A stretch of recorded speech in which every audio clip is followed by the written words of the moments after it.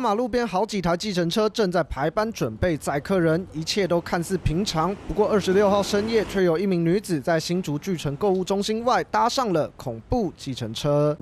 女子在脸书社团上写下恐怖经历，表示当天因为台风天选择搭计程车回家，没想到一上车，司机一路上都不讲话，还故意往反方向开，乘客要求下车也不理，原本只要四分钟的车程，硬是变成二十分钟，让人剖吓坏了，呼吁大家要小心。这你会不会觉得害怕哈？会啊，我看到车牌就不会想要坐了。老师，你已经有认出那个车牌？对。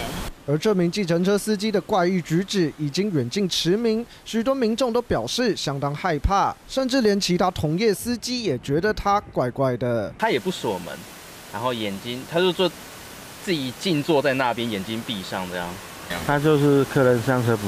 说不载客啊，不开车这样啊。根据当地民众表示，这个司机非常不友善，不是不想载客，就是刻意绕远路，而且似乎只愿意载年轻女生。接连两起报案，警方终于在二十八号将他函送法办。经了解，该名计程车驾驶已涉嫌违反刑法强制行为，全案于侦讯后依刑法妨碍自由罪，函请台湾新竹地方检察署侦办。就怕搭到恐怖计程车，网友接连在社群张贴照片及车牌。不过他的行为恐怕已经让被害人留下恐怖记忆。三立新闻张浩以、洪瑞礼新竹采访报道。